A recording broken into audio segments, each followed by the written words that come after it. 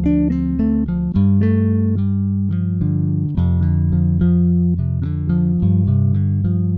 guys. Today, we're going to mix it up and talk about a survival topic that I think is a little bit different and honestly very interesting. Now, unless you've been living under a rock for the past three months, you'll probably be quite aware of the fact that Alaska has been on, in a perpetual state of fire, primarily through forest fires. And while many people are talking about how that affects the climate and how that is, you know, thawing out permafrost and all that kind of fun stuff, largely coming from people down the lower 48 who are not actually up here living in it, there's a lot of disinformation, but I won't get into that political banter. but today I'm going to be talking about and showing you guys something that was brought kind of into my mind by that topic of fire, wild forest fires or wildland fires.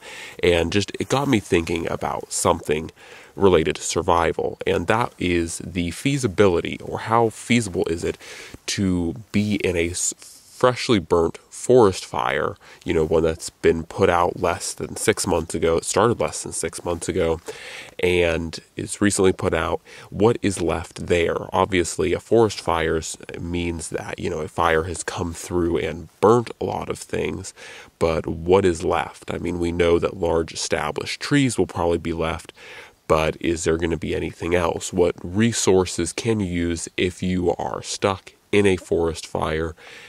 Uh, to survive. You know what what resources are there to use, and a lot of people may think that that's a rather unrealistic circumstance. And I'm not going to say that it is or isn't.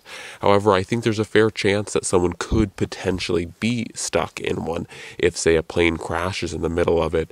These forest fires, like the one that my friend and I, that you guys are seeing right now is actually encompassed over 20,000 acres. So that's no small portion of land. And while we were at just one side of this fire, had you landed or been put into somewhere in the middle of this fire, there's really no easy way of just, you know, walking out into the fresh, non, you know, fire damaged woodlands. I'm going to be sharing with you guys my experiences, my friend and I's experiences of survival in a forest fire or a land that just got burned by a forest fire.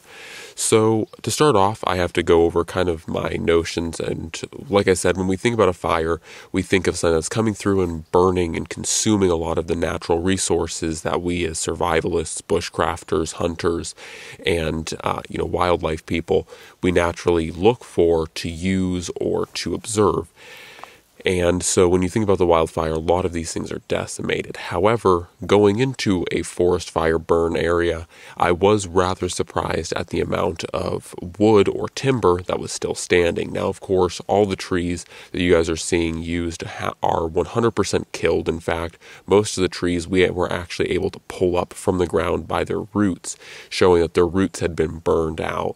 And so these weren't just trees that were surface damaged by fire, these were trees that were completely dead. There's no chance of them ever, you know, regaining their life. So before you guys get too safety sally with this or, you know, conservative about the environment, uh, these trees were all very much dead. There's no life in them and they're not going to be growing anymore. So, anyways, I was surprised to see at the amount of trees that were actually still completely usable. Now, granted, all the trees, like I said, were burnt and on the very surface there was a layer of carbon. And i noticed that as another thing that it seemed like everything you touched was just completely covered in carbon. I mean i'm going to roll in some pictures of this tom brown tracker which is the knife that we used uh, solely for the the adventure.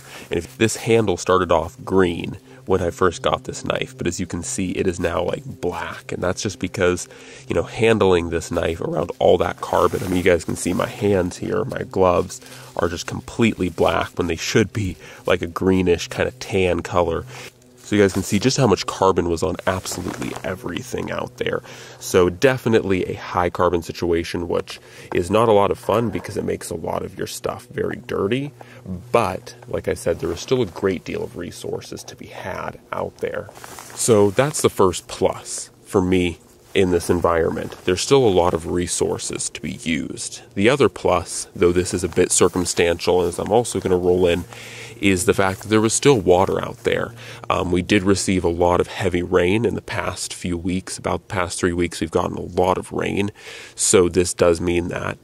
Um, so this does mean that you know the rain, the water didn't necessarily survive through the fire in the small like little puddle that I found.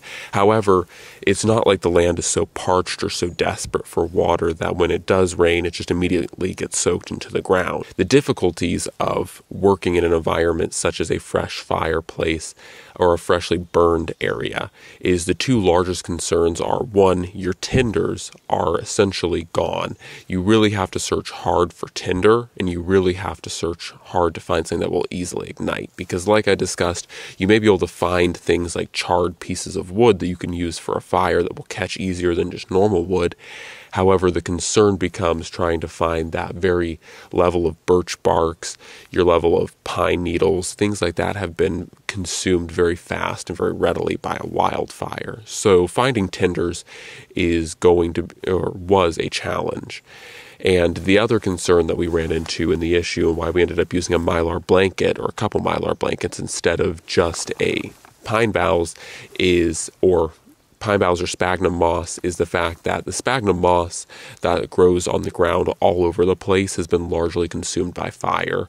And of course, pine boughs, being that they have an oil in them that is highly volatile, also all of those were consumed by the fire. So trying to find natural insulating materials would be a challenge. That what I noticed is the fire Another thing that I noticed about the wildfire is that it burned very unevenly. So in ways, it wasn't like a just a clear cut path of fire burn in a radius. It's a very jagged edge. So you do find pockets even within the fire that had not been burnt, that had not been touched, that still had things like pine boughs, sphagnum moss that you could use, that still had tinders available. So while everyone's fast thinking about how detrimental these forest fires are, just know that there's a pretty high chance that you could very well, if you knew what you were doing, survive in one of these areas that was freshly burned. Now, granted, like I said, there are certain disadvantages, such as there's not going to be wild edibles, there's not going to be many wild game animals within these places, but there are advantages, such as having a high amount of having a low brush density and a high amount of building materials. So, anyways, guys, that, those are some of my high takeaways from actually, you know, going out there and practicing survival in a forest fire.